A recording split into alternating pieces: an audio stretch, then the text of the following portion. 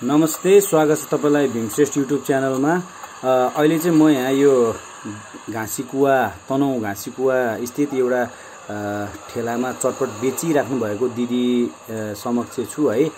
दिदीले अहिले चटपट बनाइराख्नु भएको छ। यो दिदीको चाहिँ अब के छ त अब यो लकडाउनमा कतिको चटपट बिगिरहेछ र जीवनयापन कसरी गर्नुहुन्छ? यो बारेमा केही कुराहरू म यो दिदीसँग म सोध्छु।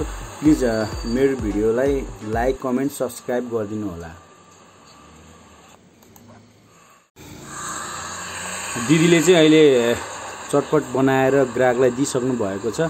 म दिदीसँग केही कुराहरू चाहिँ सोध्छु र केही कुराहरू सोध्छु चटपट एकदम मिठो बनाउनुहुन्छ जस्तो लागिरहेको छ दिदीले। हामी पनि केही छिनमै चटपट पनि खान्छौँ। दिदी नमस्ते।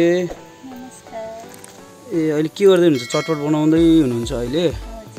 ए तपाईँको अहिले के छ? यो घाँसी कुवामा कति भयो? तपाईँले यसरी चटपट ठेलामा चटपट राख्नु भएको मैले चटपट बेचेको पाँच वर्ष भयो। ए यही चटपट बेचेर नै दैनिकी चलाउनुहुन्छ कि अरू केही फाल्तु पेसा गर्नुहुन्छ हजुरले? यही चटपटबाटै चारजनाको परिवारलाई खानाको लागि सिकेको छ। ए जियोस् दिनमा कति जति व्यापार हुन्छ तपाईँको चटपट?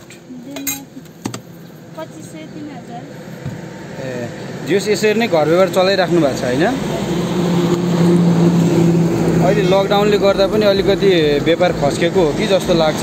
तपाईँलाई कस्तो लाग्छ यो लकडाउनले गर्दाखेरि चाहिँ अलि व्यापार